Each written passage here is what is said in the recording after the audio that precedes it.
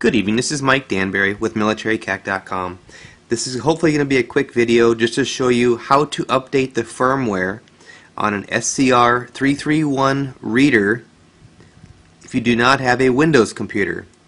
This example is going to be using LPS, which is the Lightweight Portable Security. It is a program put out by the U.S. Air Force. Uh, you can get to this file by going to MilitaryCAC.com we're going to go to CAC Reader Driver because we're dealing with the reader. So we're going here. The page loads up. The area you can find the quickest is over on the right, firmware update for the SCR331. Here's some examples now of what this what this uh, firmware update can fix for you. The biggest thing for us Mac users is able to update the firmware and use the reader on our Mac. Now it does have to be an Intel based Mac in order for the LPS software to work. So you can see Intel based Macs can update the firmware using LPS. Instructions are actually on page 37, not page 36.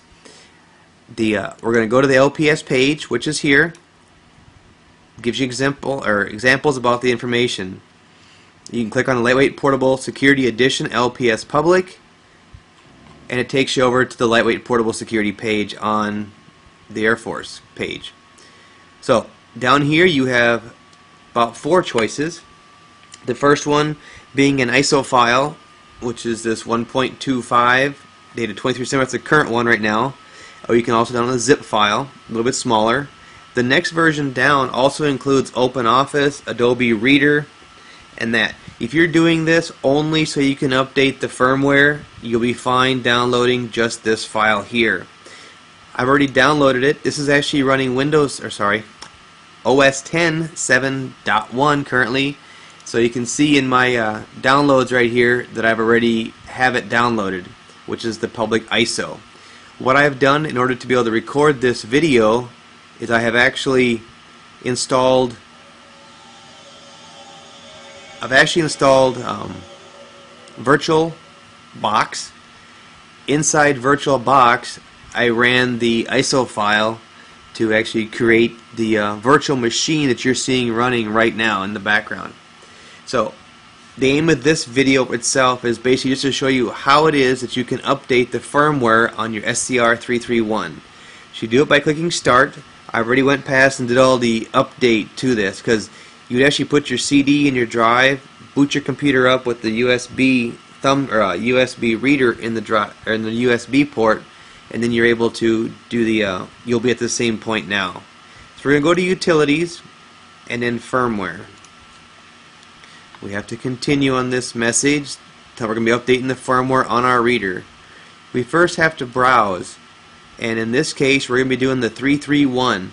It's the same for a 531, but we have the 331. We're going to hit OK.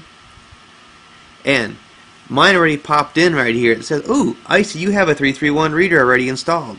So the current firmware on the left column, which is right over here, the important part I want you to see is the version firmware. If you have anything less than 5.25, I recommend you upgrade it. Update it, that is. And this is exactly where you do it at. So for this example, I'm going to click the download. I've updated the firmware on this reader many, many times. It doesn't hurt it to do it again. Only way it hurts is if you do a firmware for a different reader, so not the correct reader.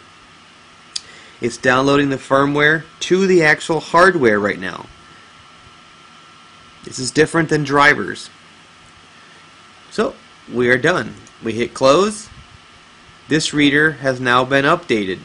I'm going to shut down my particular virtual machine right now. I'm going to pop back over here. Okay, try it again. Screening is still running. I'll minimize that guy. Okay, I need to get back to my desktop. So I'll do it by hitting Finder. Hit the little Apple icon. We're going to go to About This Mac.